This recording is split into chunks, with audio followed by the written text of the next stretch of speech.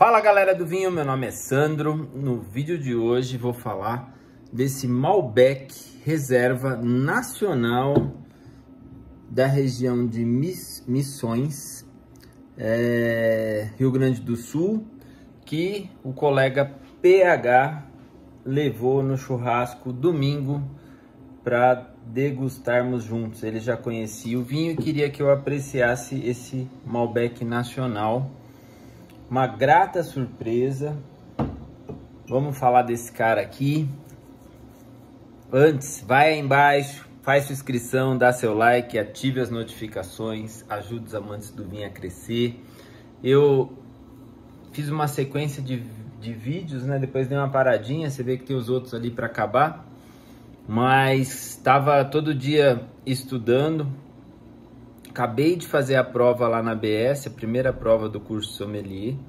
Então estava dando todo dia aí, chegando do trabalho e focado nos estudos, fim de semana também, para fazer a prova. Agora já fiz, volto a gravar. Feliz, feliz com com o curso. Bom demais. Então, vamos falar desse cara aqui, tá bom? Dando sequência aí aos vídeos. Vem comigo.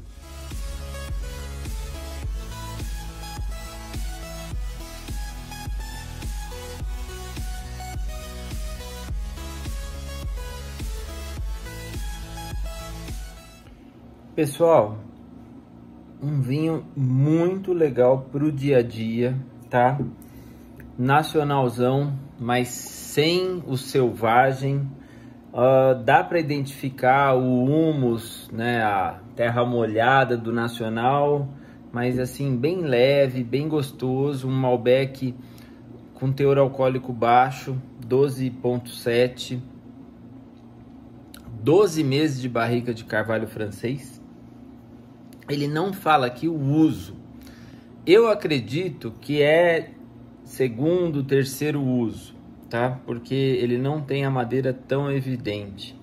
No domingo, que eu já estava estudando para a prova, eu fiz a ficha técnica do vinho junto com o pH e, e assim, um, um vinho bem legal, bem feito. Ele até, ele até parece, fora esse um pouquinho do selvagem que ele tem, ele parece um pouco com o da prova de hoje.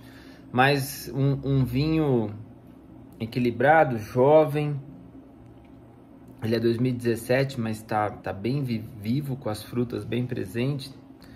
E, e eu esperava, até que o PH não falou o preço, eu esperava um vinho até mais caro, porque ele já tinha comentado dos 12 meses de barrica de carvalho. Então eu falei, pô, por mais que seja segundo e terceiro uso, você tem o tempo parado do vinho.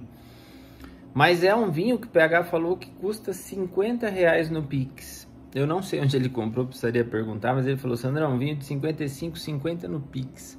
É um casal uns de senhores que produz esse vinho. E um vinho muito bem feito para o dia a dia, tá? O que a gente, o que eu falei, falei, cara, um vinho é, sem grandes complexidades, mas muito bem feito, que agrada muito, fácil de tomar, descompromissado, bem gostoso. Então fica aí a dica, a vinícola chama Fim, Tá aqui, ó, Malbec Reserva, com 12 meses de barrica.